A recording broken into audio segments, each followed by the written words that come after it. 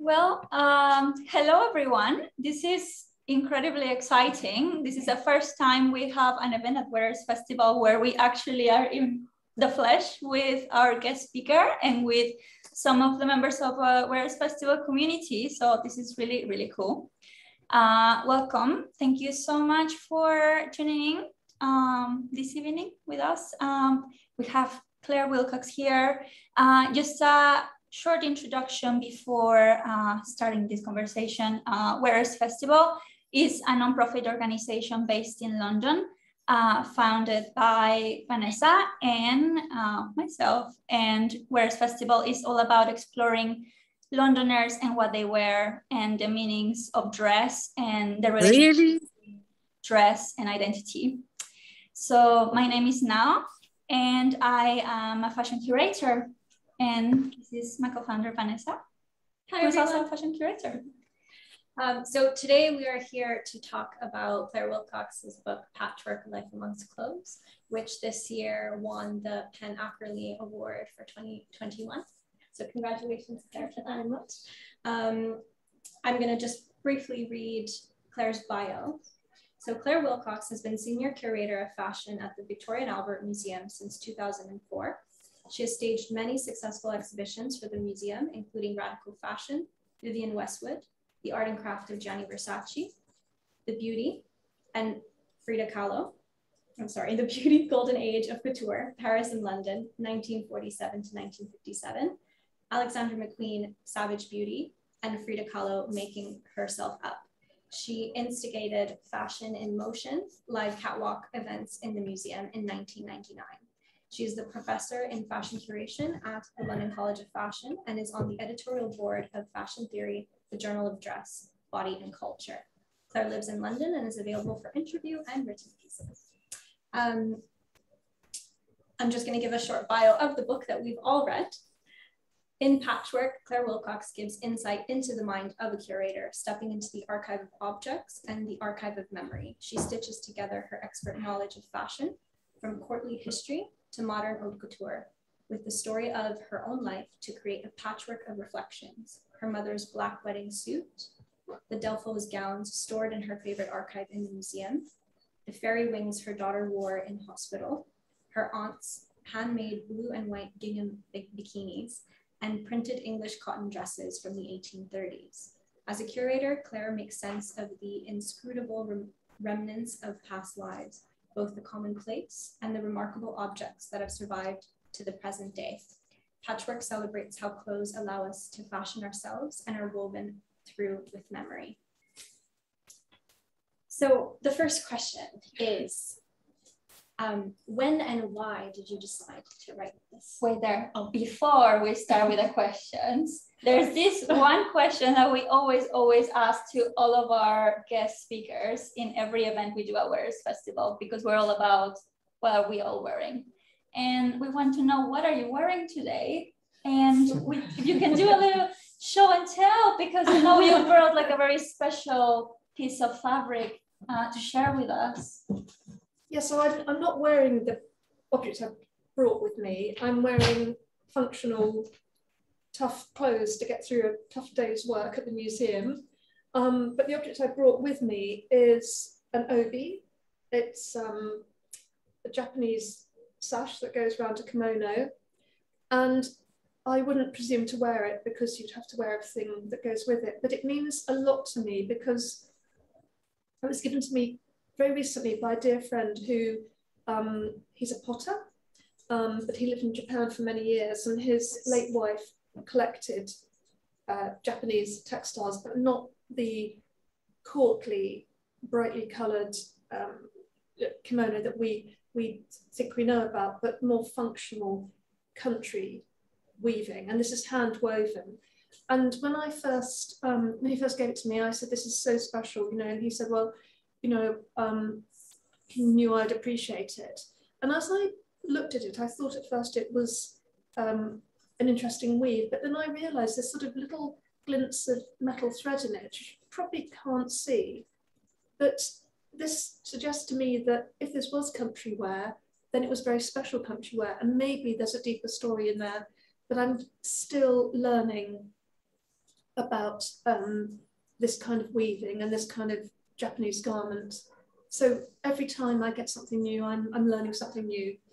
And I'm going to be asking curators at the V&A and looking at under a thread counter, which magnifies the, the threads. But it's very beautiful and very long and a little bit, I mean, I thought about trying to wear it tonight. I thought, no, that's a really bad idea. So um, here it is. Do you have a kimono and have you tried it on with? I don't have, I do have a kimono, but I haven't got the right kind of kimono and it would pain me to put two wrong things together. So no, no, it's just a, a really beautiful thing in its own right. It's very heavy and very tactile. So that's my object. Amazing. Thank you so much for bringing it. Have you done you said you like take it to the V&A and as a curator, if they know anything about it, have you found any interesting facts about it? Not yet. Not no, yet. I've just been given it and I thought, well, this is the top of my list of research to do.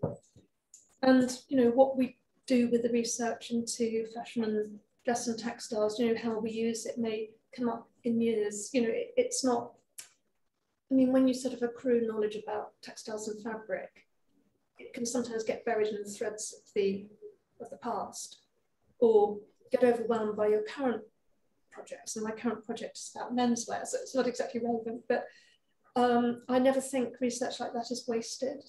And I really, I really do love those distractions that you get when you're doing research and you're supposed to be looking at one book and you end up looking at another and then three hours have gone by and but but it's all really important.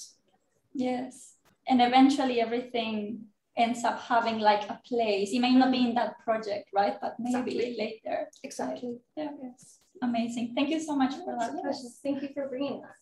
Um, so why and when did you decide to write this book? I can tell you when, that's Mhm. relatively easy. I started in about 2015 because after the Alexander McQueen exhibition, I had a sabbatical for a year and and I didn't really use it terribly wisely in some ways. Perhaps that perhaps it was wise doing um, you know, I f- feel guilty if I'm not working or not researching. But I realized after a few months that actually what I was doing was preparing myself to take on or embark on a different kind of writing, different way of um, articulating my relationship with objects and with history and with clothing and with memory. And so it just began very, very slowly. And I wrote it whenever I had spare moments, um, probably took about six years. Why I wrote it, I think I was just looking for a, different, a different sort of medium to express my interest in memory in particular and the threads of memory. And my my day job or two two jobs two jobs didn't really didn't really allow for that kind of personal writing. And so it started off as a private project and then it just built up. And I showed it to a few people and you know they said, please write more, you know, what you're going to do with it. And um, and then I found an agent who found a publisher and, and it suddenly began, you know, to roll forward and to become something more than the sum of its parts. I didn't really I didn't really realise I was writing a memoir, to be honest. I thought I was just writing fragments of memory.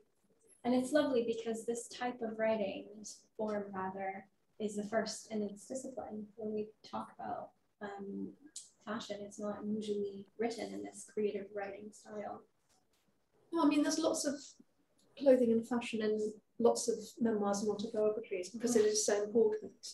So you do, you, you know, it crops up all the time, but it's not foregrounded in the way I foreground it.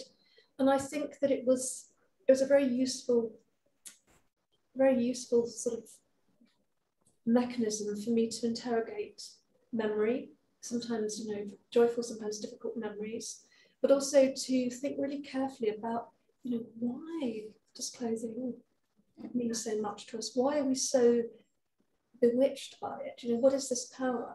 But then why do we also become inordinately fond of a sort of, in my case, a, um, I've kept a, a cardigan of, of my father's.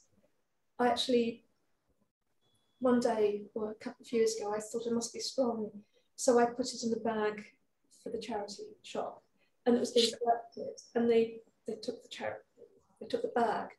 And as they were about to drive off, I ran, I ran off and saying, stop, stop, I want that cardigan back. Um, so I still got it. I wasn't ready to let it go. Power of.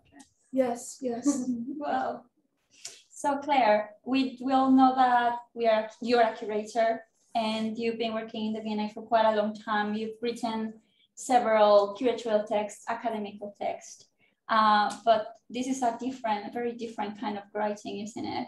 So I wonder, how did you feel writing this? Is this so different to what you usually write? And if you can take us through your journey writing patchwork, um, it's amazing the amount of detail you can remember from like many years ago. Like, did you have to do research on your own, the, your own art and photographies? And did you have conversations with like family or friends to remember all these things, or is all is there in your head? I think I already asked you like three different questions. yes. Um. Let me take them in order. So.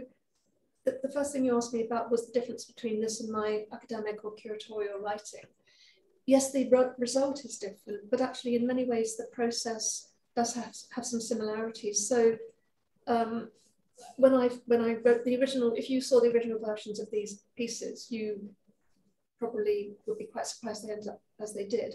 So they're distillations. So for every, say, short piece that may have three or four paragraphs, it started off pages and pages, and I just edited it, distilled it, um, made it more specific, but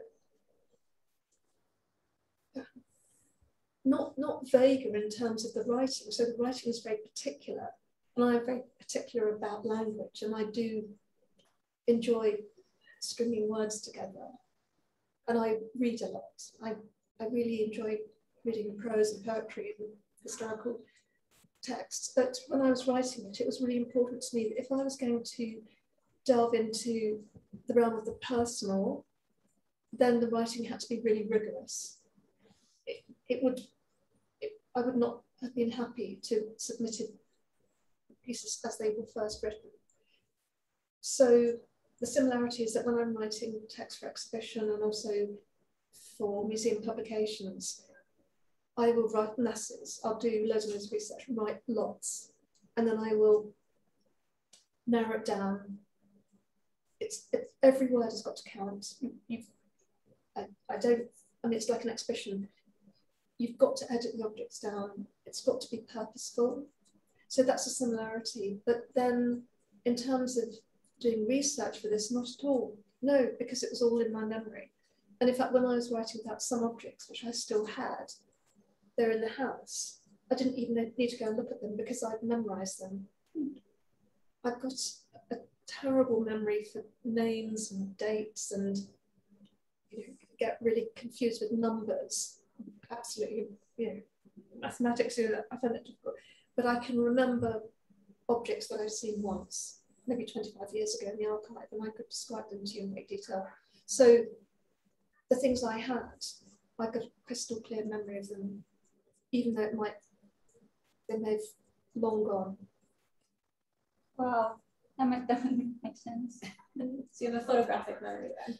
I guess that's what it's called, yes. But it's funny because when I'm when I'm thinking about objects that I've seen, and I, I, I could almost sort of replay, you know, so then you look at the outside and then you open the inside, and then I can sort of almost memorize the stitching, the interior of garments as well. So it's like so your memory has a recording. It's got a recording. Yes, exactly. but you're, you're surely the same as curators. You must Yes, I definitely have a photographic memory as well. Yes, yes. I'll remember events based on the clothing I wear, the people that I've seen. Yes, it's a really useful way to to um, to to get access to the past. Mm -hmm. Yeah, absolutely.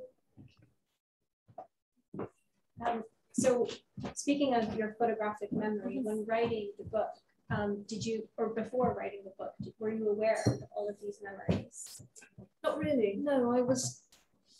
I was very pleased that I didn't have to to work too hard on researching because normally I would I would find it very difficult to write about a designer or a time in fashion history without reading pretty much every text there, there is out there. So it can take a really long time to research. But with this, the the, transference of my memory of, of an incident or my memory of an archive or memory of particular bits of clothing, I could describe them very easily and then, as I said, edit it right down. And I and I didn't I didn't have to work hard at remembering. In fact, the more I wrote, the more I remembered. The hard work was in the editing. Yeah.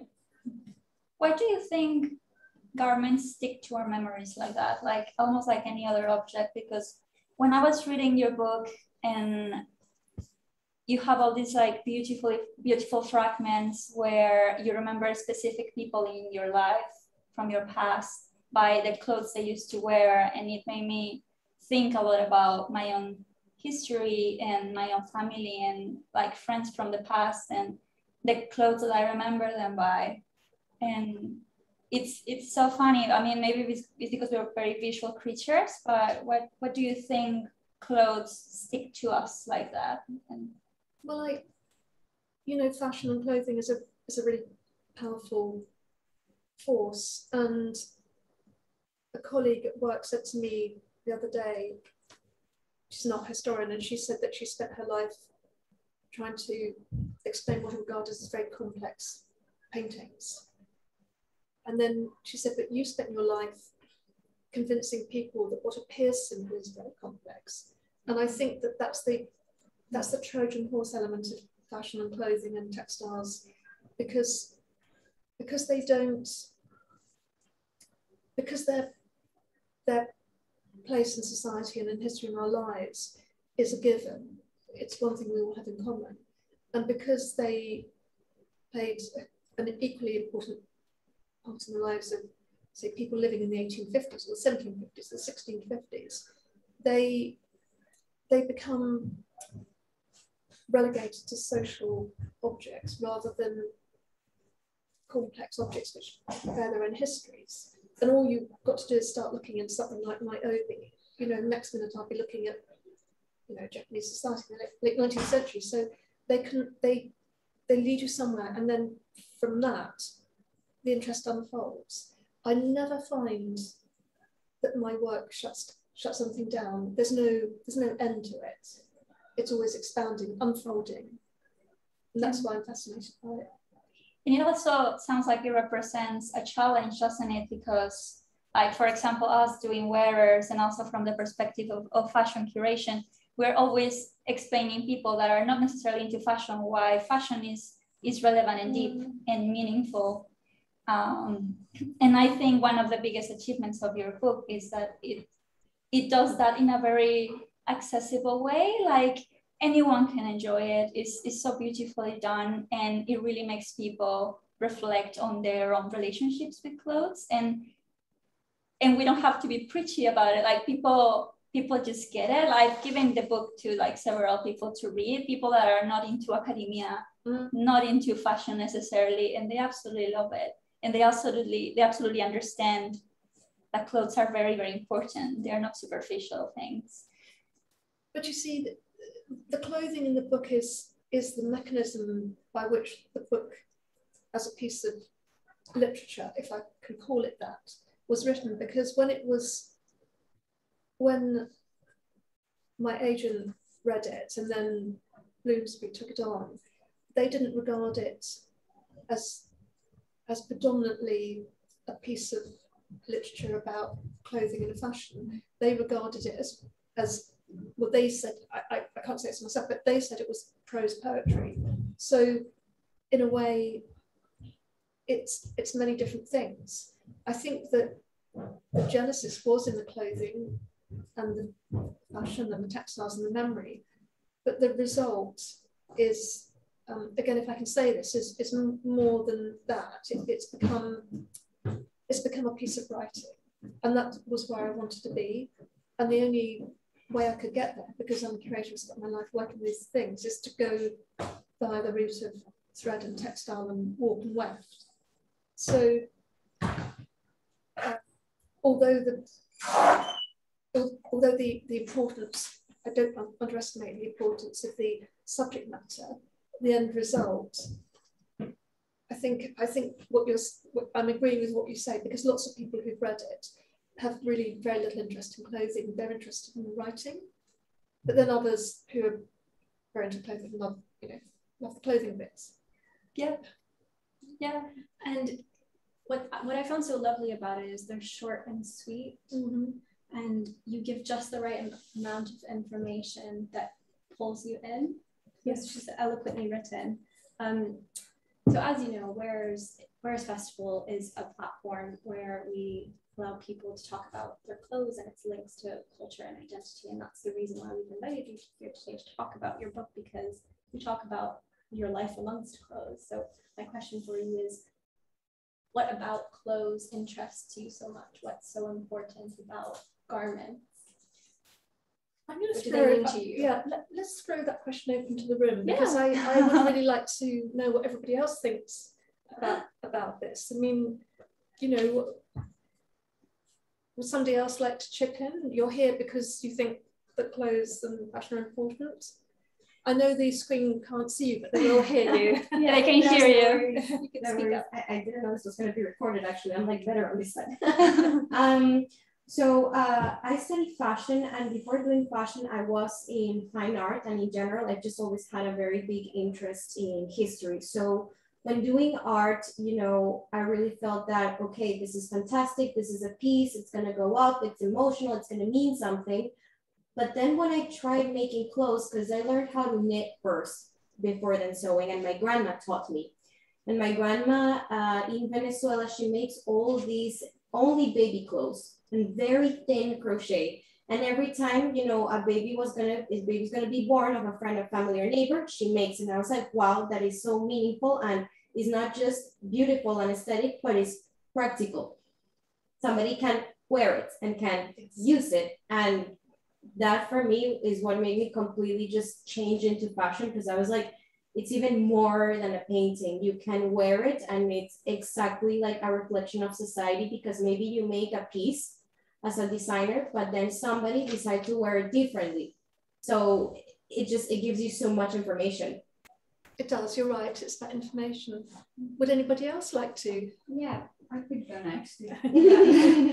yeah, I guess for me, it's just the simple fact that we're we are always wearing dress, like we're always dressed. We're never, I guess, naked. We're wearers, we aren't we? Yeah, so such a good so, title for your, yes, your organization. yeah, absolutely.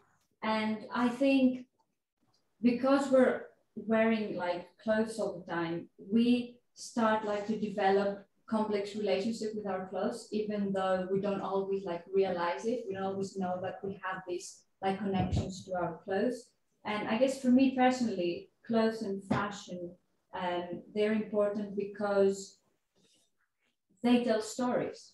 And I love stories. Mm-hmm. Yeah. And I just love how if I look at like a piece of clothing, even if I don't own it, own it, like for example, if I look at it, sorry, I just like it makes me think uh, about like stories, like where did you buy it from? Even if I don't know the, the, the answers to these questions, and even if I never ask them to the, the wearer, I like it still feels great to know that if I look at this, it's just so interesting to look at. And like it carries like memory and it carries like the personal history, I guess, the history of a person. There's very few disciplines that can operate on so many complex levels from the purely commercial, um, with all the issues around sustainability that that entails, to the intimate with the baby clothes that um, your relative knits. And so uh, for, for, for a subject that's so multifaceted, I think that maybe one of the problems is that it, it won't stay in one place. And so mm-hmm. it's very hard to assess its cultural and social value. And the worlds associated with fashion and clothing range from, you know, the, the massive history of the silk industry and the silk route through to um, mass-produced clothing in Italy through to handcrafted work. So it's such a broad subject. It's, it's kind of a, as broad as it can get because wherever there's society and communities, there's going to be clothing of some kind of the other. And I think that's why it's hard to pin it down and hard to hard to ascertain its its value. The other thing, of course, is that it changes the whole time. I mean, it's like picking up water, isn't it? If you're if you're trying to be a curator or a historian of contemporary fashion, you're always going to be a step behind. You, you know, that's that's the point of it really, that it, it, it mutates constantly. And I think that's another reason, let's not say mutate, let's say evolves constantly. I think that's another reason why it works so well on social media because that's an ever evolving um, restless discipline. Yeah. Mm-hmm. And, and I think fashion is restless because we're always seeking some perfection. There's that that there's so much of this in literature. I mean, there's a wonderful story by Virginia Woolf, which you probably all know, um, where yeah. she, of course, um, you all know this, and we did a whole book club on that. Uh, yeah, yeah exactly, yeah. exactly. But, but the point about it is that the, the hoped for transformation doesn't happen because the dress betrays her, mm-hmm. and she doesn't realize until she gets to the party that it's a complete disaster. We've all been there. Yeah, yes, it's very relatable. Yes, yes. Do you think? Do you find that your job influences the way you dress? Um, a long time ago, when I started work at the V&A under Valerie Mendes, who always wore black, apart from the odd splash of red or purple, and was immensely stylish. But, but she, she dressed in a very practical way. And she, she said, you know, everybody thinks curators are, you know, going to be beautifully, fashion curators going to be beautifully dressed. Well, we're on our hands and knees moving mannequins around, we're in storerooms, climbing up ladders, we're doing paperwork. It's really not an environment to dress up in. Mm-hmm. So I and I've always really liked work clothes. You know, I like stout fabric. I, I like I like clothes that have got a bit of a history of function, mm-hmm. aprons, mm-hmm you know, denim, denim and nice boots, you know, that, that can, mm. I feel I can get on with my life. I don't have to, I don't want clothing, I don't, I don't want clothing to, um, let's say, cramp my style. I want my style to be my style and the clothing um, serves that. I don't, I don't want to be led by clothing. That's a very interesting approach and even more interesting considering that you're dealing all day with these absolutely gorgeous and glamorous pieces and spectacular things. And there's even a part in your book when you mentioned that people tend to ask curators like do you ever feel tempted to put uh, things on? Well, no i mean i have you no no well i in the book i say no and i hand on heart i I, I couldn't and wouldn't. Um, you know, I think, you know, dealing with, that, say you were a curator at the National Gallery dealing with the paintings, you wouldn't expect to have those at home as well, would you? That concept. So I think we, we we know that we're working with really top quality stuff from the past um, and the present. We know that we're collecting design that leads we know that the lifestyle associated with, say, Christian Dior ball gown from the 1950s is not going to be a lifestyle that we're living. And In fact, very few people, uh, even at the time, lived like that. Mm-hmm. But we also know that those examples have been above others because of the sheer beauty of the craft. I mean, the amount of hours invested in a couture gown, as you know, I mean, we're talking days, weeks, months, even. So I think anybody who owned that, however wealthy and privileged they were, would not want to be discarding it. They would keep it, and that's that's the museum's fortune that those those pieces were kept and collected.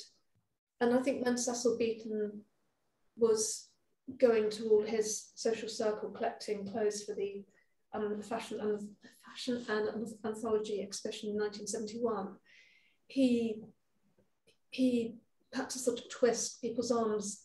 You know, they were no longer wearing these things, but they didn't want to let them go. So just because they were in a privileged position of owning haute couture, it still meant the same as our things mean to us. And um, yes, we, have got lots of letters on file with people saying, "Oh, Cecil's been here and my wardrobe's empty." You know, he's taken everything from me. You know, um, but yeah, I, I think I think curators they're doing a job, and it's a practical job. So you know, not not not a reason to dress up to go to work particularly. Yeah. You're handling glamorous objects, but you can't be glamorous because no. it makes you less efficient. So you can't walk yes. around. Yes. You can't climb a ladder in high heels. No, plus I wouldn't know how. So I don't think glamorous has ever been on the list of my, you know, things I've aspired to. and Claire, talking about collections, um, Patchwork addresses the topic of the practice of collecting uh, repeatedly uh, from the point of view of the museum, but also from the personal. And we want to ask you if you ever consider yourself a collector. Like you do mention that you have all these objects. You even have like a cabinet at home that you your partner used to call the museum. Yes. Um, were you a collector? Are you a collector? Not not really. I mean, I think I'm a mother. And I think that mothers tend to get attached to things associated with their children's mm. childhood. So, you know, I found it very difficult to let go of their baby teeth. So I still got them in a jam jar at home, and they think it's really gruesome. but um, there's many other sort of objects that are in the in the museum, as we called it, that belong to them growing up. But there's also there's something about scale. I do quite like small things, and I wrote about very much liking um, the Borrowers books when I was a child, Mary Norton's books about small people that live under the floorboards and take things. And if you lose things like a hairpin or a needle, and you're thinking, where's it gone? The borrowers will have taken it. And I I believed in them.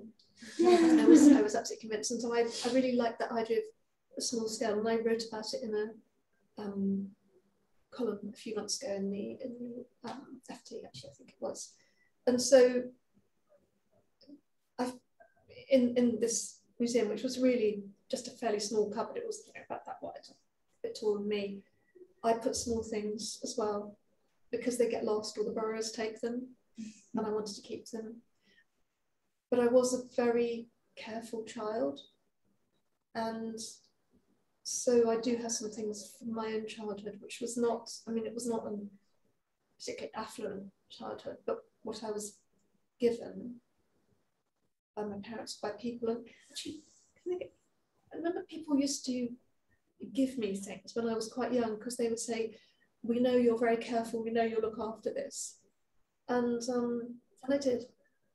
so I still have those things, but you know, not a huge number, but enough to connect me with the childhood curator that was careful. And you ended up like looking after super valuable stuff in yes, a museum, being like the gatekeeper, yeah, the guardian of all these well, things. not on my own. I mean, there's a whole institution. Um, I mean, there's a whole discipline of, of curation that you know about, and that's to do with I mean, it's a, it's a kind of strange training because you you can train to be a curator academically, but I think the real training is in working with the objects, and then you just sort of know. I mean, you know if an object's in trouble, you know if an object's been, or let's say, let's say a, a skirt or a dress or, or jacket, you know if it's been put in a drawer not carefully. Mm-hmm and you would rescue it, wouldn't you? You know, you'd know to put tissue paper between something that was sequined and something that was knitted.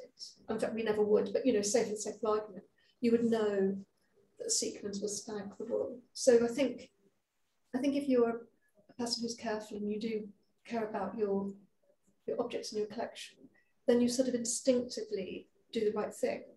I mean, we do have training in how to handle objects and um, you know, there's it, there's different ways of handling different types of objects, and we happen to have a lot of ceramics in our home.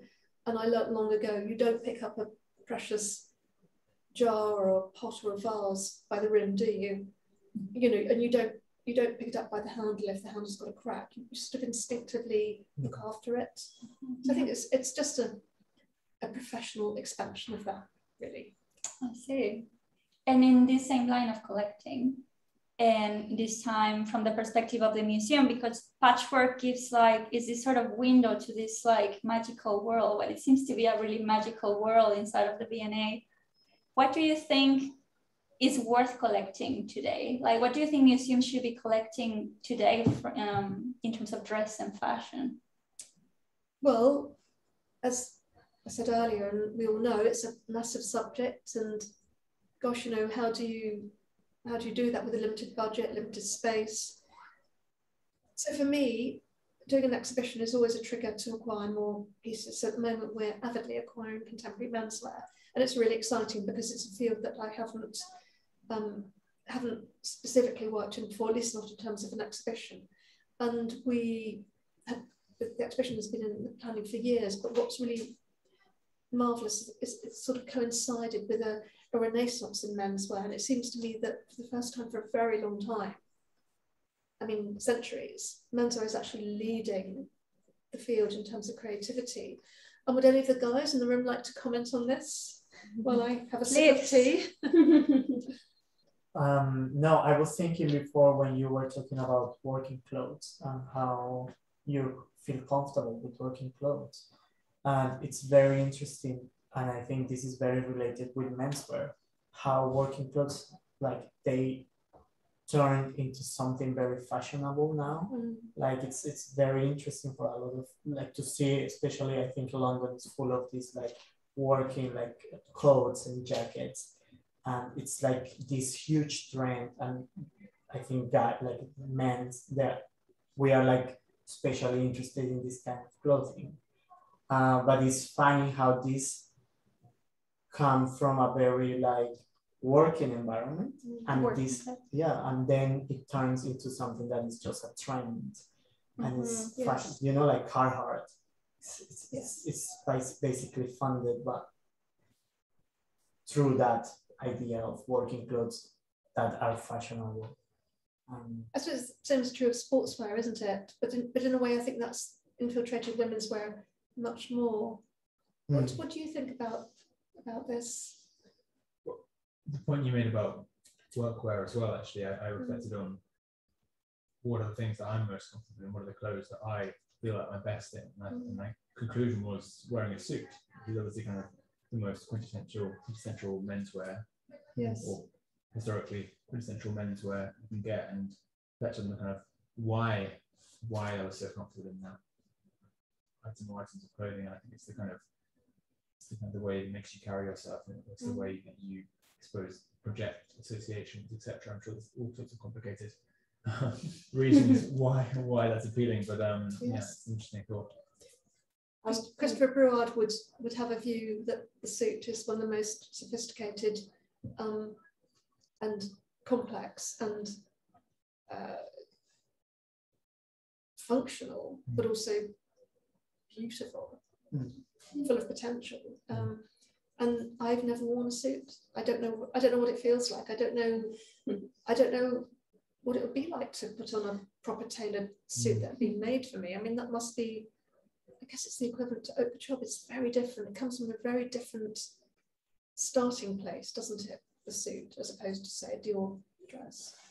You used to wear a suit to work every day for many years, no? I did, yeah, and it was. um I, I miss it greatly because it was the, the easiest way yes. to look to look. Well, Smart. Think, yeah, exactly, and I think kind of it, it's a very easy way to look your best. I think suit as, well, man or woman, I suppose, but. Mm in my experience, like it's an easy way to look good, and I got to wear it every single day without even to think about it. Right, so I kind of envy that. Uh-huh. Yeah, exactly. I'm very fortunate to do. Yes, yes. Um, there's quite a lot to be said about you know the the, swapping of styles and and of course you know women's wear can often be tailored as well, but it's just not quite the same as a suit, is it? Mm. it doesn't quite have have that. I don't know decisiveness about mm. it. And like that sort of does appeal to me. But I'm also kind of quite intrigued by the the confusion around women's wear, the, the, the, the many thousands, hundreds of thousands of possibilities there are for all of us every day. Mm-hmm. You know, it's it's almost overwhelming. Yeah. And I think that that's why all, I mean, I'm very interested in, in contemporary fashion, obviously, but I do, if it all gets a bit much, I do go and look at some 19th century dresses actually, because, you know, they really are, um, they are what they are. And they're not going to change because they've had their day, had their moment, and they're not going to evolve. Yeah. Yeah, whereas now we're evolving almost in a daily basis. Um, well, I don't, I mean, I think it's very unusual for any of us to wear exactly the same thing every day anyway. And even if we did, we'd be a day older and a different person. So, you know, it's a, it's a, it's kind of very unstable in some ways as, as a, a phenomenon, isn't it? It's, it's as unstable as we are, I guess. I mean, we could wear the same thing seven days in a row, but feel different each day. So. It's complicated. It's complicated. that summarizes it. Um, Claire, I'd like yes. to ask you if there's a passage that you would like to read, or if anyone has a suggestion of a passage that they'd like Claire to read. Yes, or, yeah. or if anybody's listening um, online, if there's a favorite passage Yes, if someone online would like to uh, come up to the microphone or the camera and read your favorite passage, and you guys here, you all read the book already. Um, if there's like a fragment of the book that you would like to read out loud, that would be amazing. Yes, if, if, if they'd like to read it or they would like me to read it, we, we're, we're flexible. Yeah. Is there a specific bit of the book that you remember now? So I do, I have one, but I'm waiting for other people to. Go on then, you, you, tell me what it says while we wait and see if anybody suggests something better. Mm. Well, I, I really like, I really like the chapter in which you talk about this mysterious woman, this friend that you had like a sort of, you were sort of infatuated with, that you admire so much and you wanted to was, be like her. I was going to say exactly that. and when you you get ready something and you went to her house. I know. I wasn't invited to have Yeah, the party. You were invited. I still upset about it, and it was like 30 years ago. um, what page is that? It's at the, I have it here. I'm sure I separated it. You know that terrible thing. It's purple velvet. You know when you're when you're when you're quite young and you know, a little bit insecure and yeah, so what page is 47. 47. Okay. So shall I read this and then if I can always do read another piece if anybody would like that. Okay. So this is this is me kind of being kind of falling in love with somebody. It was a crush. Yeah. It's called Purple Velvet. I felt that nothing but her velvet trousers would do that day and plucked up the courage to ask. They were too big, and I had to fasten them with a safety pin, and the hems dragged, but still I thought they were a triumph. My friend's charisma and confidence were evident in everything she did, from her handwriting to her sardonic comments, but especially in the way she dressed. I had a crush on her and wanted to wear her clothes. Her face was delicately drawn, with a pointed chin, high cheekbones, and flushed cheeks, and her eyes were dark and lively with eyelashes that looked painted on, a Reynolds kind of face. Her hair fell to the side like a boy's, and she swept it away with her hand, especially when she laughed. She specialized in self deprecation, but that only offered me the opportunity to flatter, reassure. When she entered a room, life suddenly seemed mean, meaningful, her opinions were, I thought, perspicacious, and her gossip amusing. And she had an exquisite touch when pouring tea or pushing wildflowers into a jam jar. When she gave me a lift, I loved the way she committed, taking corners with bravado and putting the handbrake on with a flourish when we arrived, as if that had been exactly what she meant to do with her morning. Once, after we'd all moved to London, I took a carrier bag of trappings and trimmings velveteen and violets to her flat. I wanted to give something back to say, I have studied your ways well and think I know how to clothe myself now. But it was a mistake because she was having a party and I hadn't been invited.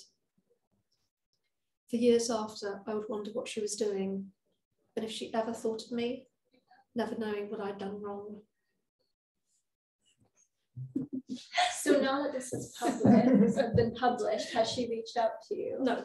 No. Does she know that she is? I don't know. You have no idea. I have no idea. this was a long time ago, and like a lot of crushes, was probably completely. Uh, she was probably completely unaware of it. Yeah. Mm-hmm. You know, I think.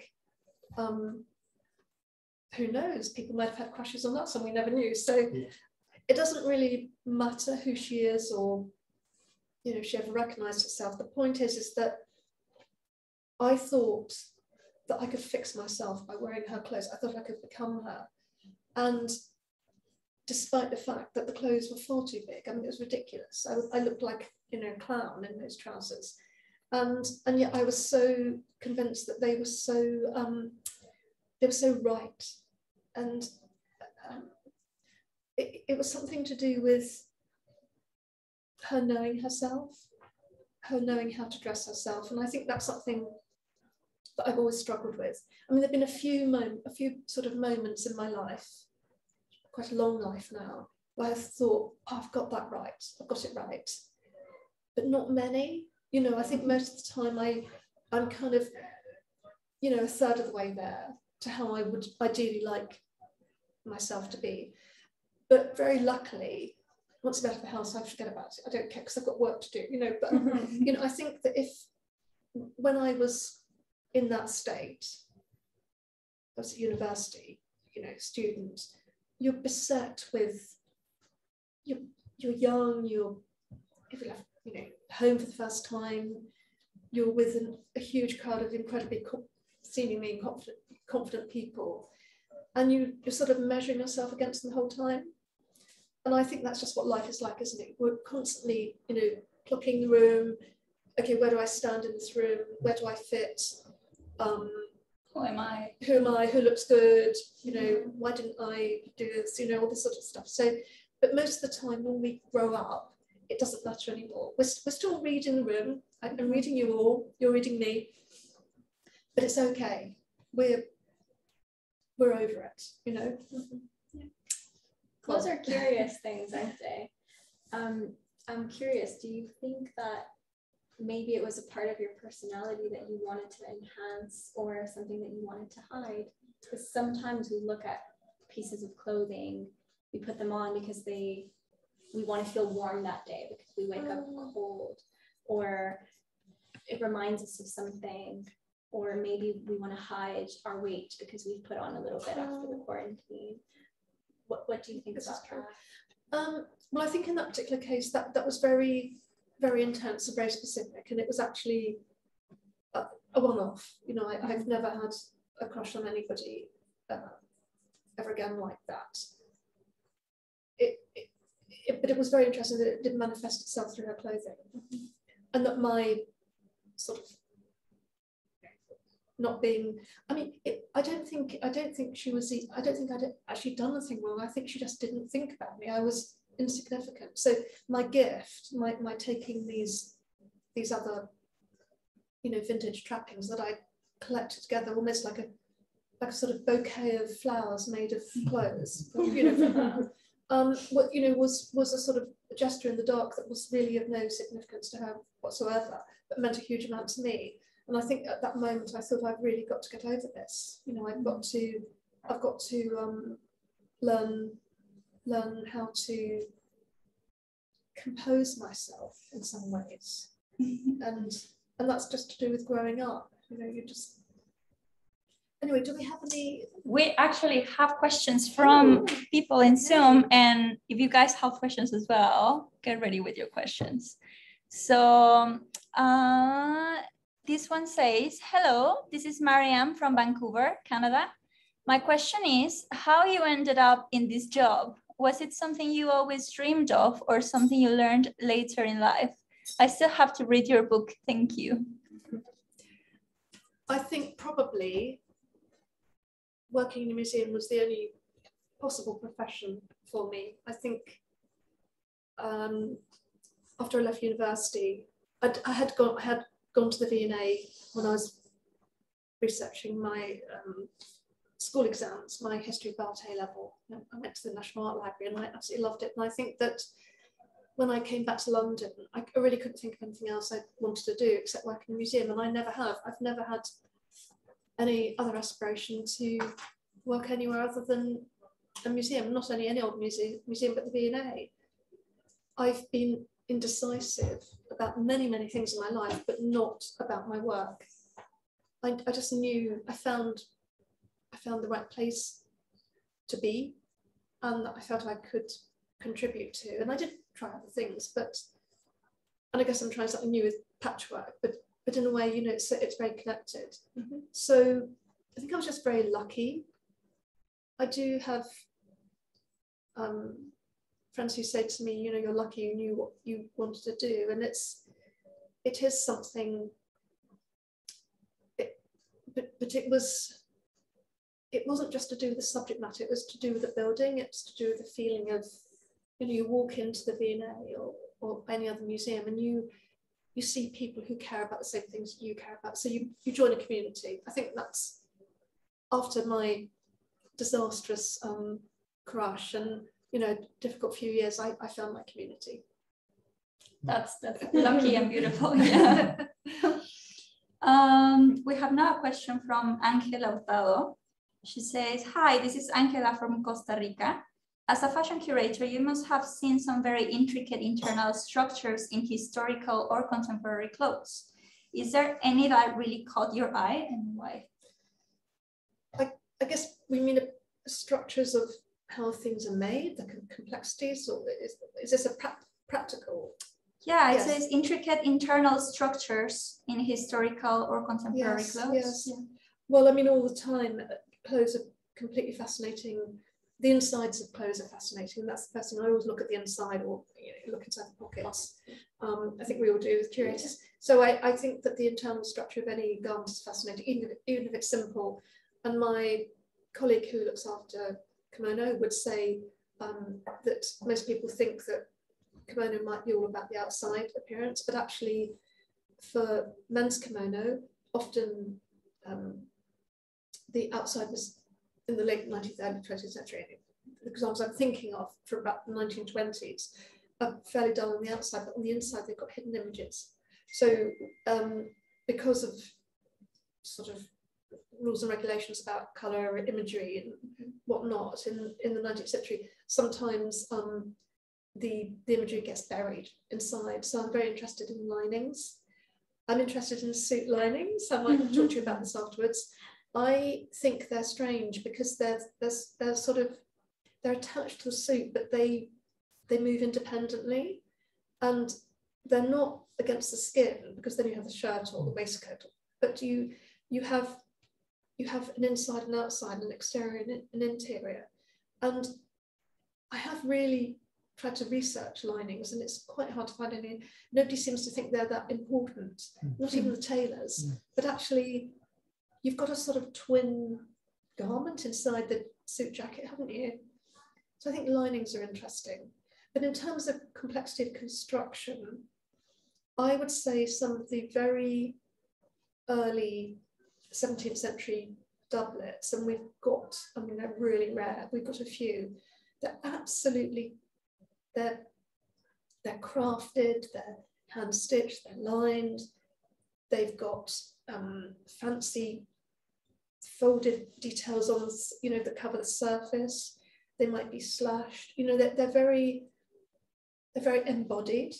They're, they're almost you know, they're off the body. They haven't been worn for hundreds of years, but they still feel quite bodily.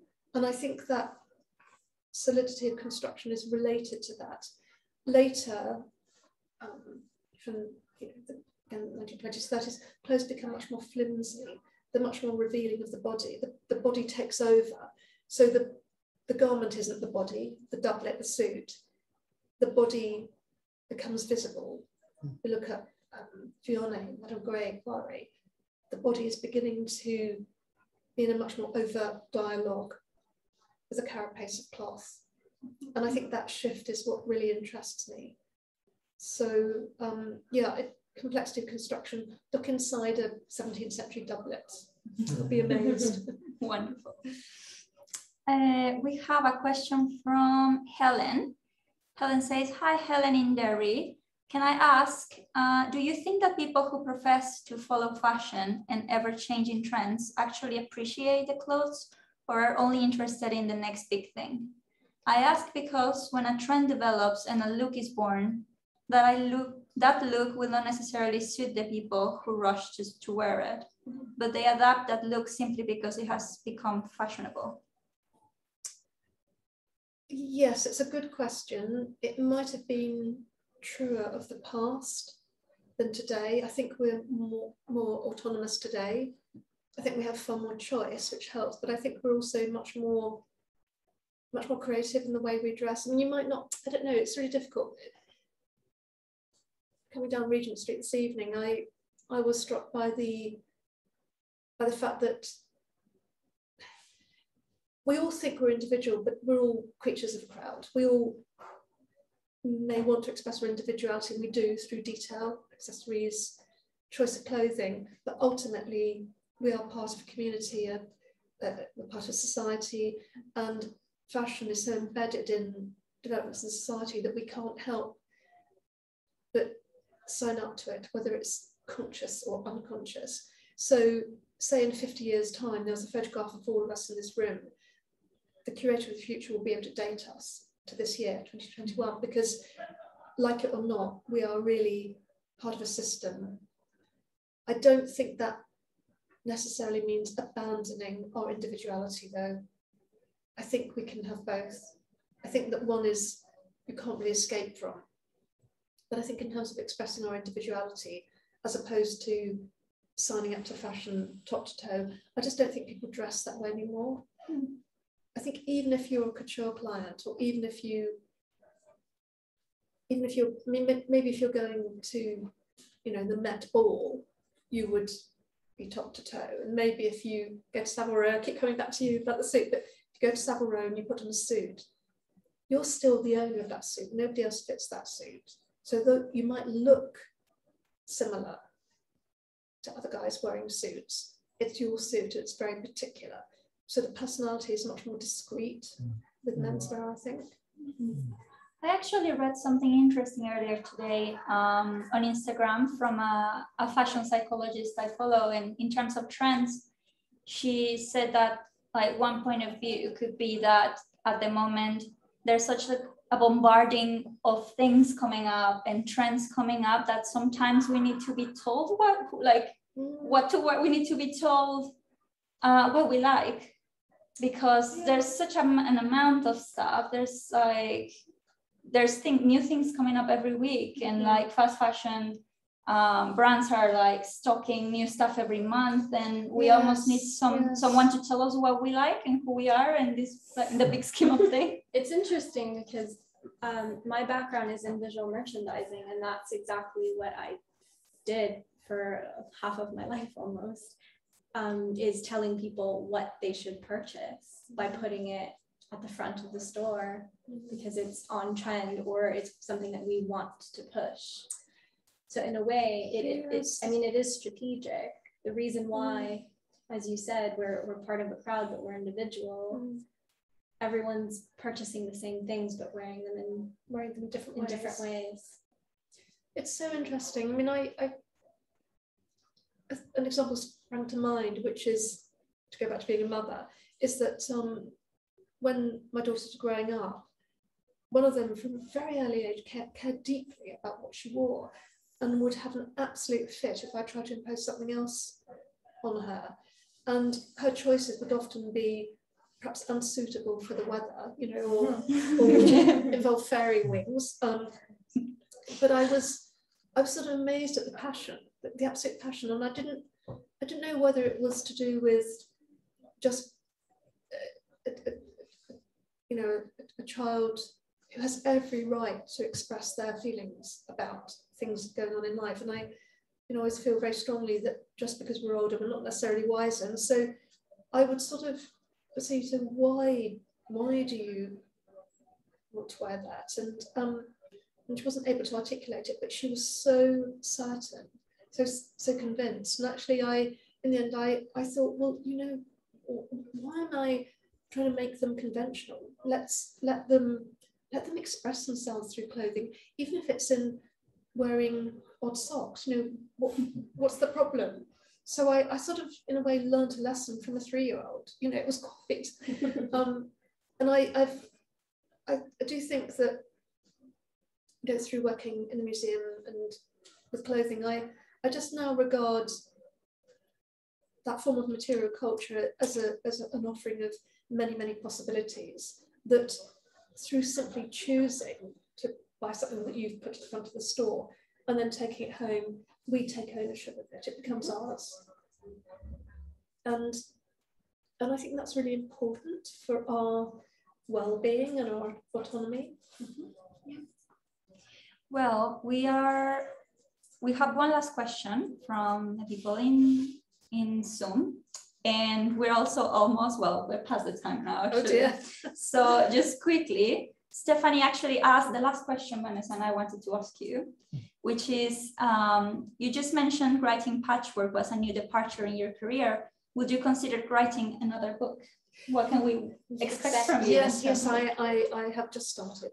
Yeah, oh. I've just started writing another book, but I probably shouldn't talk about it because then I'll think I've done it. You know what I mean? When you talk about things, you think, but I, I, it's very important to me to keep going with writing because writing means so much to me and language and words and how they convey meaning or obscure meaning is really important. So the next book is is is about um, oh I'm about to tell you I must stop. oh my god